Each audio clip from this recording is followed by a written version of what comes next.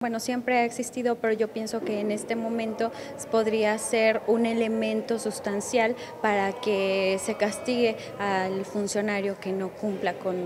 lo establecido dentro de sus funciones u obligaciones.